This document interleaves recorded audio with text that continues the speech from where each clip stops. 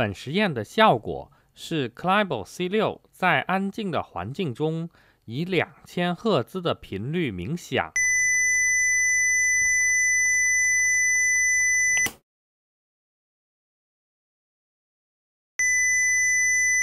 In this experiment, clybot C6 beeps at 2 kilohertz if ambient sound is low.